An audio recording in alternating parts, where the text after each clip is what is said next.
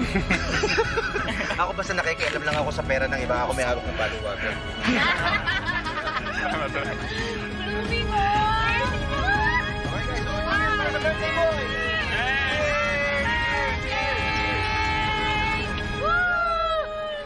Happy birthday, sir! Happy birthday, David! Have a, have a long life. Pare, pare, happy birthday! Thank you, thank you. Long time no see ah. Over there. Oo nga pare, hindi na natin pinagkita pare. No, never mind. You know what? I'll just take selfies. Fine, fine, fine.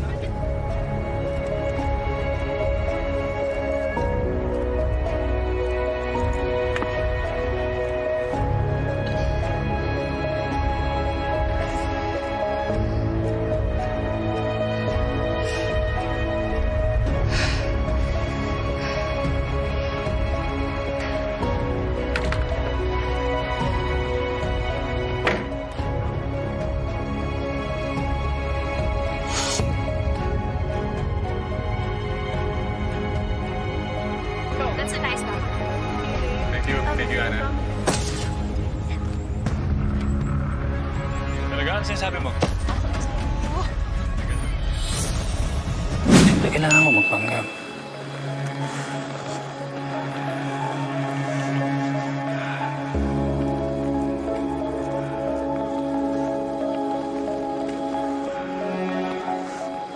Three months ago, sabi mo, unti-untiin mo na. Months ago, sabi mo, sasabihin mo na sa kanya. Parang sa nakita ko kanina, David, wala ka pa rin ginagawa. Komplikado yung sitwasyon natin. Pero ikaw, mahal na mahal kita. Naniniwala ka naman, di ba? Alam mo naman yun, di ba?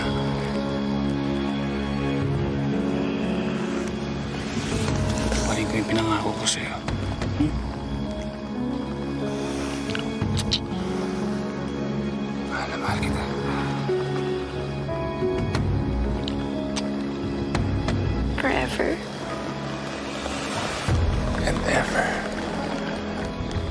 Lexi Lucero. I love you so much. Labang happy birthday dyan. Happy birthday, Guapo.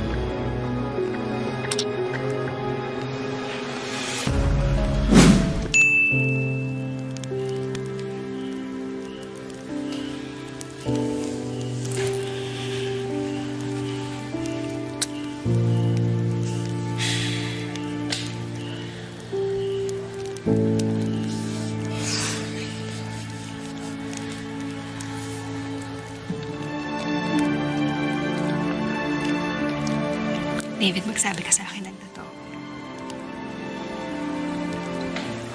Alam ko mahirap, pero tatanggapin ko. Basta aminin mo lang. Wala naman akong pakailam kung gaano katagal o kung ilan. Patatawarin kita. Handa ako na magsimula tayo ulit. Pero gusto ko lang. Sabihin mo sa akin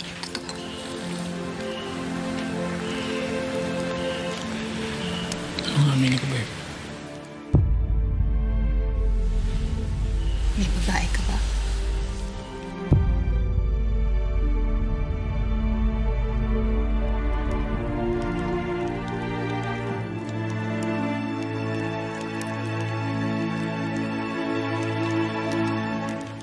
Wala. Naratong other woman si Lexi. Hindi naman ako nangarap na maghanap o mangarap na magkaroon ng isang babae. Nakilala ko si Lexi. Hindi ko namamalaya. Nahulog na pala ako sa kanya. Pero David, pwede mo namang hindi gawin yun, di ba? Tsaka, okay, siguro ng high school, nakalusot ka. Pero kahit kailan, hindi pwedeng sinasabay-sabay ang babae. Kay Jill ka nag-commit. Sa kanya ka dapat mag-stick. May nabibigay sa akin si Lexi na wala kay Jill. May nabibigay sa akin si Jill na wala kay Lexi. Ayoko sila parehong mawala. David, alam mo naman siguro na hindi pwedeng sinasabi mo, ano? Lalo na yung komplikasyon mo ay nagkaroon ng mas malaking komplikasyon. Kailangan mo mag-decide Or magkaroon ng resolution. Kasal ka kay Jill.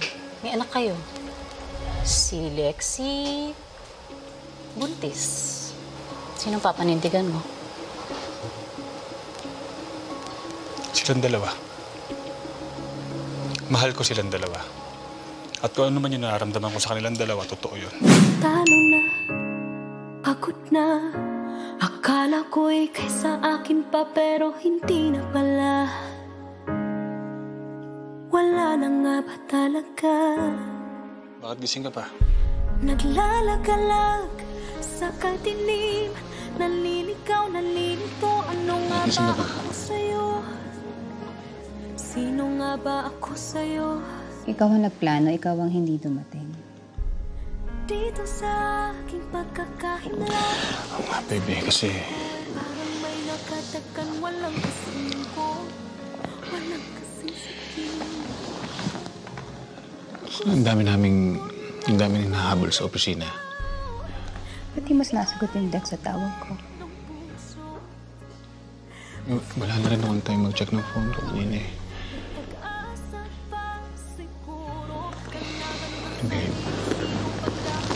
Text lang yun, David. Segundo lang mag-reply. I'm really sorry, babe. I'm really sorry, hindi na mauulit. Alam mo, alam mo naman ginagawa to dahil sa inyo, di ba? Hindi, Doc.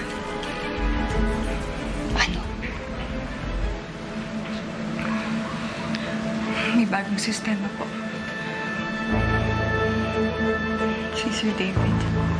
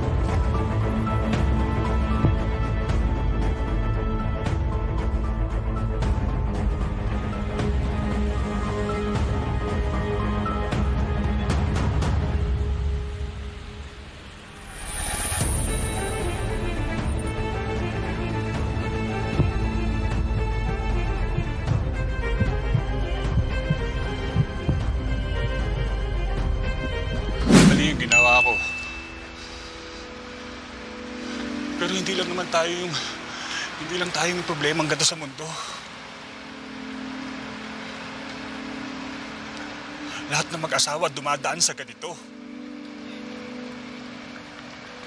Jill, lalaki ako.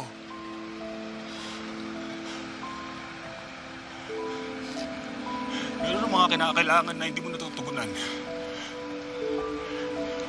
Oo, naghanap ako. Nung nakilala ko si Lexi, hindi niya na ako pinatahimik.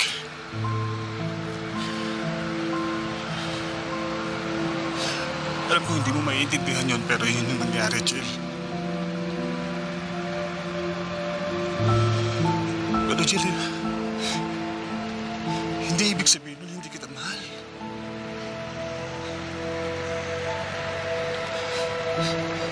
Jill, mahal kita.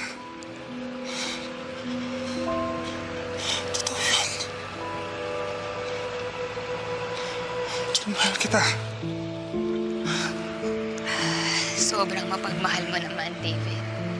Napakarami mong gustong mahalin. Hindi ko kaya yun. Gusto mong umalis, ikaw na lang. Tapos, ikaw ang mag-aalaga. Napapahamak nga yung bata dahil sa'yo. Bakit mo magsalita? Bakit? Safe pa si Gia sa'yo? Di ba ikaw nga tong stable.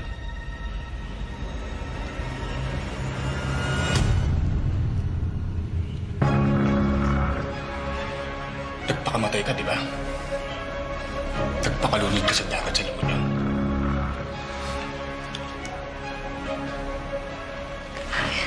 Kwento sa akin sa Andy ang lahat na nangyari sa La Union.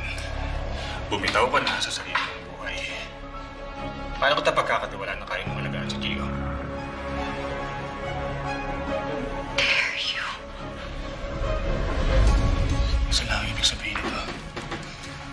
Ikaw ang may diferensya. Ikaw ang psychologically incapacitated. Ikaw, hindi ako. Kaya hindi dapat sa'yo mapunta si Gio.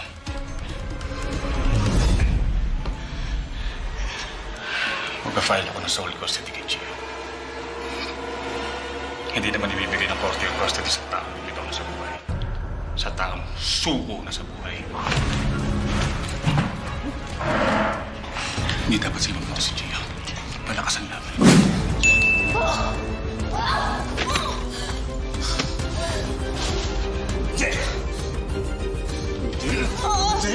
Walang lalayo! Walang lalayo! Walang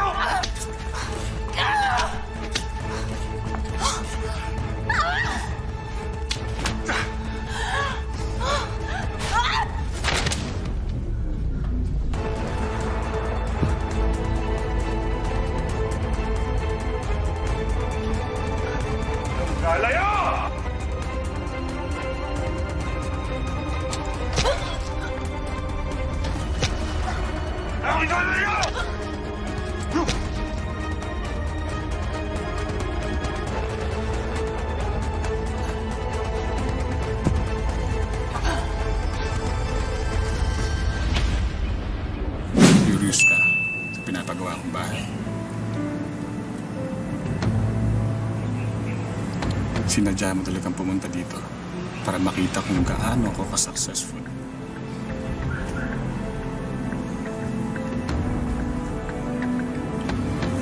Hindi ka pa rin nagbago.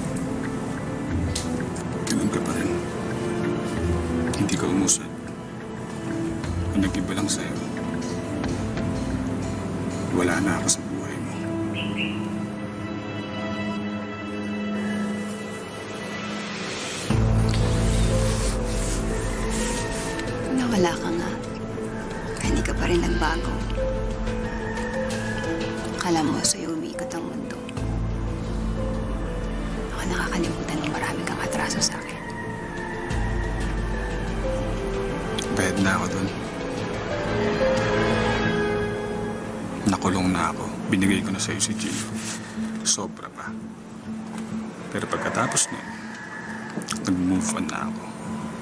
Ikaw ang hindi naka-move on. Lalabas na ako. Wait.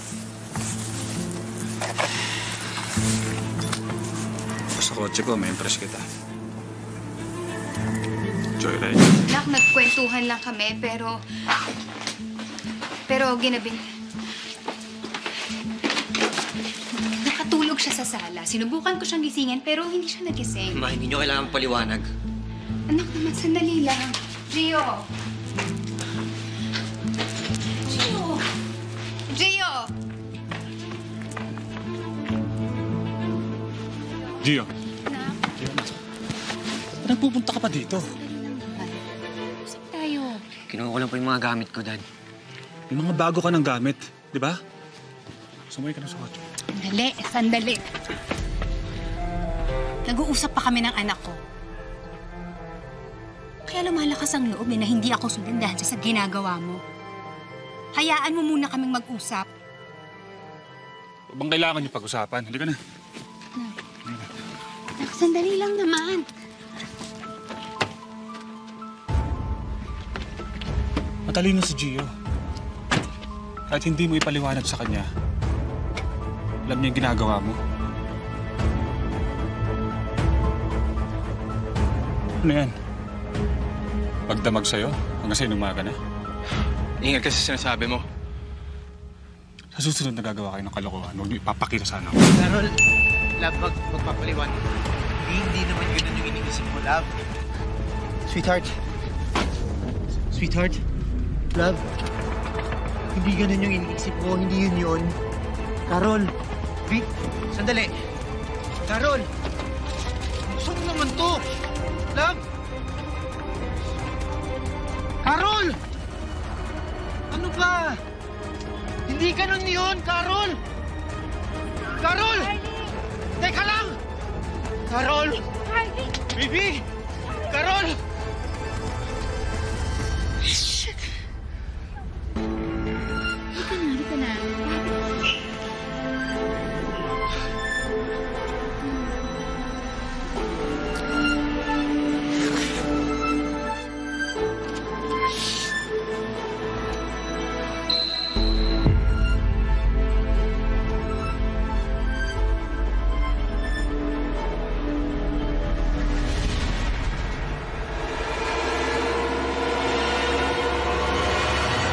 Mo ko?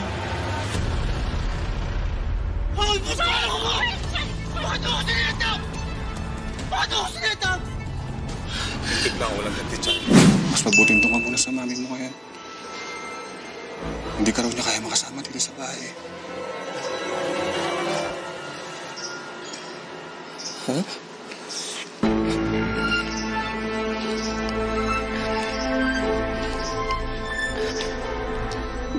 Ba po sabi niyo, dito na ako titira? Sabi niyo po, bahay ko na rin to.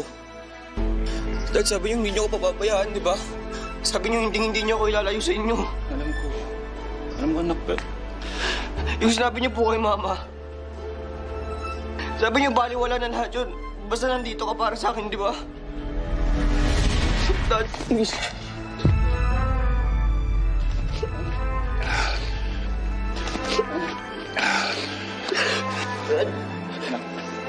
Bigyan mo lang ako konting, konting oras lang. Konting oras, ayusin ko to, ha? Ayusin ko to. Makakabalik ka dito sa bahay. No. Bang. Hindi na pwede. Bu. Bakit po hindi pwede? Kaya mamaya na. At ate yung mga gamit ko, huwag niyo po ilabas. David! Ate yung gamit ko! Dad, please.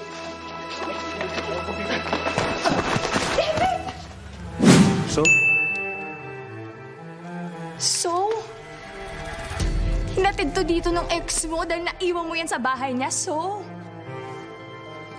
Sandali lang ako dun. Can you even hear yourself, David? Nakakainit ng ulo yung mga alibay mo. Ito yung dahilan kung bakit hindi ko sinasabi sa'yo. Ito yung gusto mangyari ni Jill. Kung mag-away tayo. Eh, paano nga? Paano nga yun napunta sa kanya? Hinubad ko dahil... dahil nasasakal ako. Kasi sobrang stress ko sa paghahanap kay Gio, hindi ko, hindi ko na alam. Pwede ba... Tapo na tong visit na necktie na to. Wala ka kwenta-kwenta, pinag-aawayan natin.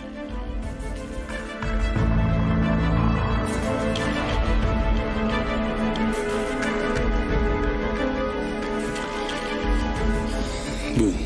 Napag-usapan natin yung MBA mo.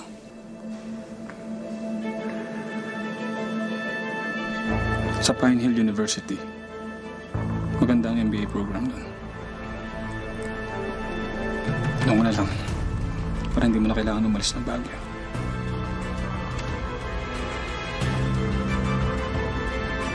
Huwag ka na magkaplano mag-isa. Eh, ayoko. Huwag kang lalapit. Yeah.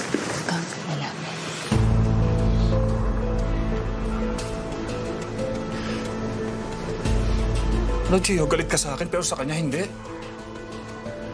Mas marami siyang ginawa kasalanan sa'yo, ah. Kasama ka pa rin sa kanya kahit alam mo na yung totoo? Ginagamit niyo lang naman ako para makaganti kay Mama. Gio, hindi totoo yan. Ikaw na lang mahalaga sa akin ngayon. Pakasinungaling mo, Dad. Simula ngayon, bahalan tayo sa mga buhay natin. Eh, pwede ba umalis ka na? Mo sabihin yan. Gio! David, tumigil ka na.